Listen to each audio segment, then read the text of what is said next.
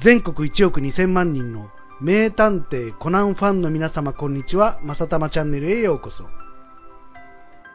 今日はちょっと謎なカメラをゲットしたのでご紹介したいと思います。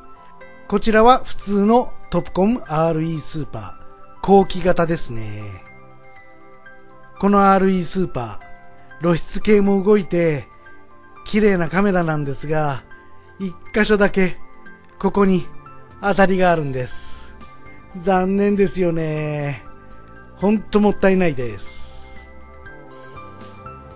そしてこちらが謎なカメラ。何が謎かというと、このシルバーボディの RE スーパーに黒いレンズがついてます。まあ一眼レフカメラですからレンズは交換できるんですが、このシルバーボディの RE スーパーにわざわざこの黒い RE オートトップコールレンズをつける人っているんですかね？カメラ本体がブラックボディだったら黒いレンズももちろん似合うんですがこの辺がちょっと謎です。そしてもう一つの謎。ファインダーの上部に脂肪皮が貼られてます。ただ渋皮が貼られているだけなら、それはそんなに謎ではないんですが、このファインダー、渋皮が貼られているところが凹んでるんです。なので、純正仕様ですよね。渋皮が貼られている以外は、全く通常の RE スーパーのファインダーと一緒です。形も一緒。いつものようにばらして掃除をしてみましたが、中身も一緒でした。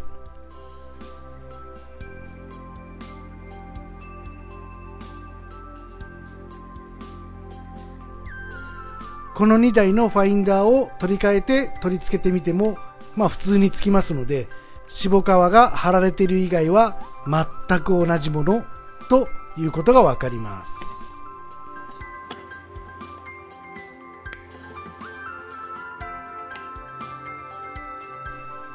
さて、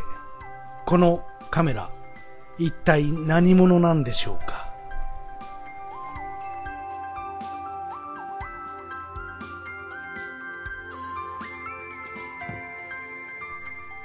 この黒い RE トップコール 58mmF1.8 レンズは、ちょっとね、レンズがカビていたり、このピントリングが硬かったりしているので、まあ、ばらして、綺麗にしたり、メンテナンスしたいと思います。最初にピントリングに貼ってあるゴムを剥がします。ピックでこのゴムにちょっと隙間を空けて無水エタノールを注入します。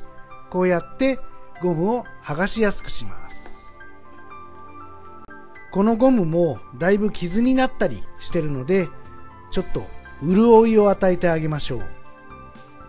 この辺は人間と同じでお肌の手入れは大事です。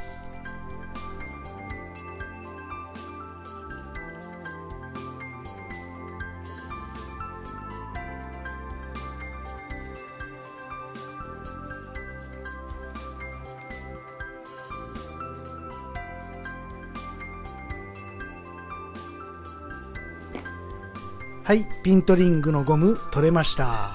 一箇所欠けちゃいましたね。これはクレのラバープロテクタント。ゴム製パーツの保護剤ですね。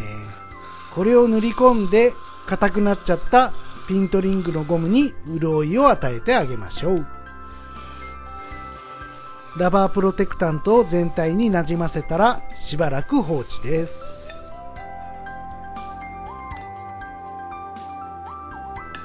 次はレンズの清掃ですね。レンズの清掃の場面は以前もご紹介したので、このお時間を使って私なりにこの謎なカメラの見解をお話ししたいと思います。まず、この黒いレンズのお話ですが、実際ブラックボディ用の RE スーパーにつけるレンズとして生産はされていたようなんですが、日本にはあまり流通していないようです。主に輸出仕様として生産されていたようですね。1972年以降、RE トップコールレンズは黒がメインになったようですが、このレンズはその頃のレンズではありません。なぜかというと、レンズの先端がクロームメッキ仕様。1972年以降の黒強度のレンズは先端も黒く仕上げられているようです。なので、このレンズは当時としては珍しいブラックボディの RE スーパー向けに作られたレンズと考えて良さそうです。一眼レフカメラはレンズが交換可能ですから、どんなレンズをつけようが、それは持ち主の勝手なんですけど、シルバーボディの RE スーパーに黒いレンズをつけようって思う人が、そんなにいたとは思えないんですよね。暗い水槽の写真とか撮るので、黒いレンズを選んだ。反射して映り込まれるのが嫌で黒いレンズを選んだというのなら、カメラのボディも黒を選ぶはずですよね。映り込みを嫌って黒いレンズを選ぶのなら、先端のクロームの部分も黒く塗ってしまうと思います。そしてもう一つの謎。黒い脂肪側が貼られたファインダーですが、実際1972年以降のトップコンスーパー D のファインダーには上面に脂肪側が貼られています。単純にそのスーパー D のファインダーを RE スーパーに取り付けたと考えることもできるんですが、その動機がわからないんです。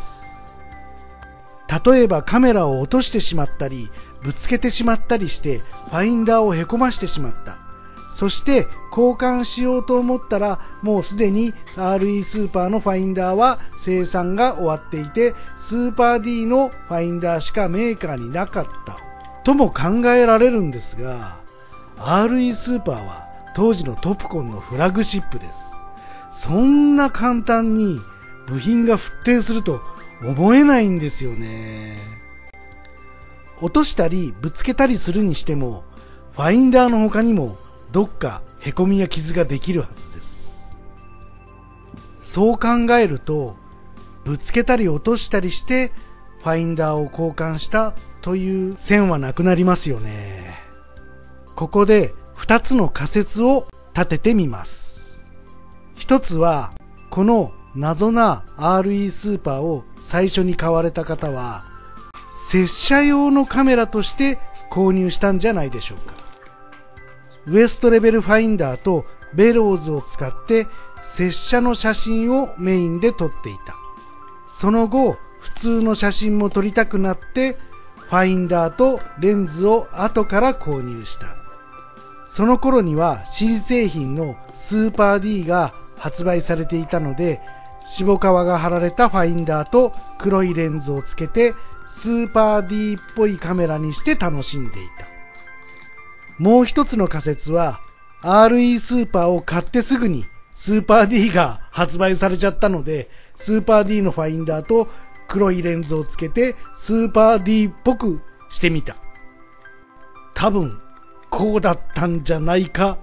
と思います。真実はいつも一つ。体は大人、頭脳は子供、名探偵正玉の名推理でした。てれてれ、てれてれ、ててて、てててて。てか終わったんかい レンズの清掃が終わりましたので、ここで定番を外して中をちょっと見てみましょう。2台の RE スーパーの定番を外して中の構造に違いがあるかどうかをチェックしてみます。この中の構造に劇的な違いがあれば先ほどの2つの仮説を覆すことができるんですけどね。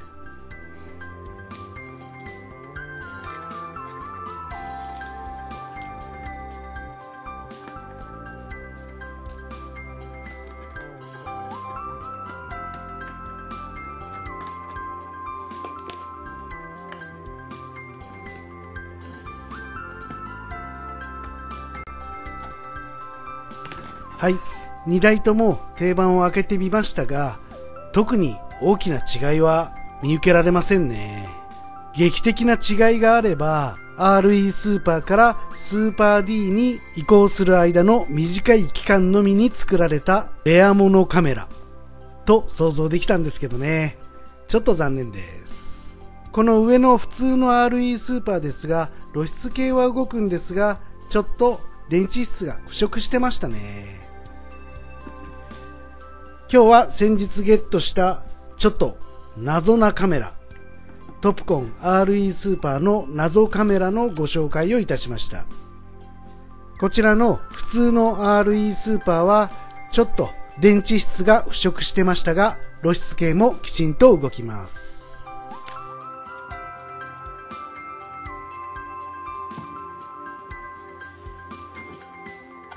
そしてこちらの謎な RE スーパーですがこちら中をちょっと、分解してみても、まあ、錆とか腐食は全くないんですが、残念ながら露出系が動きません。いずれオーバーホールにでも出して完璧に動くようにしたいと思ってはいますが、キャノンの A シリーズのようにちょっと安くオーバーホールできるようなカメラじゃないので、その辺はしばらく先になりそうです。このトップコン RE スーパーの紹介動画は後日改めてアップいたします。もしこの謎カメラ、謎なトップコン RE スーパーの詳細をご存知の方がいらっしゃいましたらコメント欄にでもまあ私のチャンネルってあんまりコメントつかないんですけどね。どんどんコメントしてください。それではまたね